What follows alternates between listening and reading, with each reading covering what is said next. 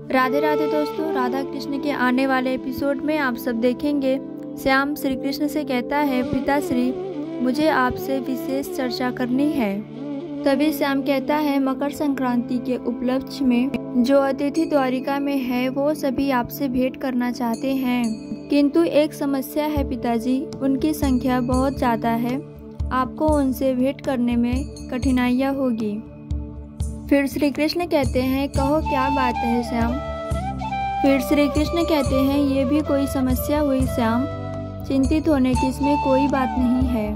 और कहते हैं, जाके उन सभी अतिथियों को बोल दीजिए कि मैं उनसे सब लोग से भेंट करने आऊँगा। और कहते हैं, द्वारिका में आया हुआ हर एक व्यक्ति और अतिथि किसी की भी इच्छा अपूर्ण नहीं होगी। फिर श्याम कहता है, अवश्य पिताश्री मैं उन सब के पास जाके अभी मैं आपका संदेश दे देता हूँ। फिर इसके बाद आप सब लोग देखेंगे श्री कृष्ण राधा के समक्ष जाते हैं और कहते हैं, क्या विचार कर रही हो राधे? फिर राधा कहती है, देखो कृष्ण, उन सागरों को और मुक्त किनारों को, हमारा संबंध ऐसा ही है ना कृष्ण? लहरे सागर से चाहे कितना भी दूर हो जाए।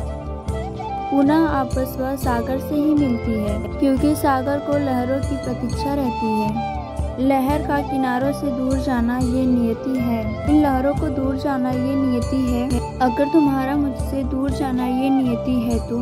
मेरा भी इस किनारों के भांति प्रतीक्षा करना ये नियति है, ताकि हमारा मिलन पुनः हो सके। विधि के विचित्र अनुभूति ने ही मुझे ये आभास कराया है।